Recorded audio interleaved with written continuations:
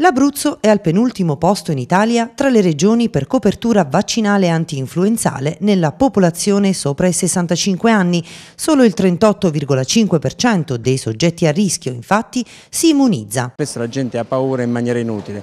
Quando una patologia scompare, praticamente l'attenzione eh, scende. Quindi noi abbiamo avuto con i vaccini dei grossi successi su tante patologie, molte malattie sono state eradicate, altre stanno per ricomparire, perché quando si abbassa la guardia, è un pochettino, facciamo un esempio, come nelle nostre città, quando i ladri non ci sono per un po' di tempo, non si sente parlare di ladri, la eh, soglia di attenzione si abbassa. La stessa cosa sta succedendo per i vaccini. Le hanno rese obbligatorie proprio per questo, perché con esse abbiamo eliminato molte malattie infettive che colpiscono la prima infanzia, ma che possono anche riverberarsi su, ripercuotersi sull'intera vita di un individuo.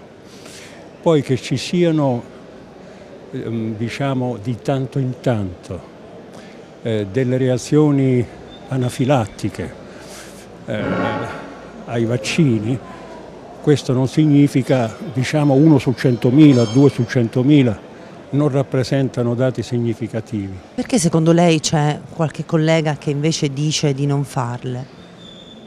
Ma secondo me è un atteggiamento incomprensibile perché con esse noi abbiamo eliminato tantissime malattie che affliggevano diciamo, l'Italia eh, tantissimo, eh, malattie infettive dell'infanzia e anche dell'età adulta.